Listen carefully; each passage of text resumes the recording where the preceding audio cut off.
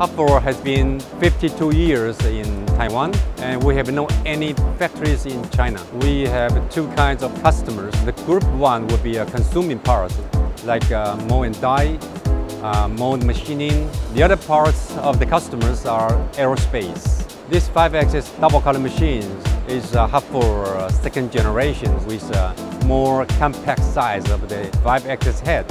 Actually, we started producing this 5-axis machine since 1999 to Boeing and Airbus. We found uh, our guideways, our ball screw, and our scrapping technicians, uh, they are able to supporting our after service very well and uh, almost more than five years there's no problem at all. So we were able to provide this uh, five years warranty.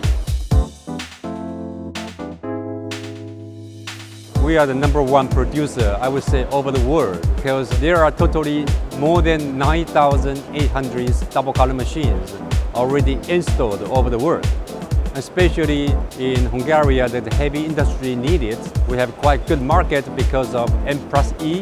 They provide a very good service and better professional knowledge. So we are very confident through the cooperation between Hartford and M plus E. We are able to support all the customers in Hungary who need this kind of machines. According to the background of 50 years history, we continue developing the new technology and good machines to give the commitment to our customers.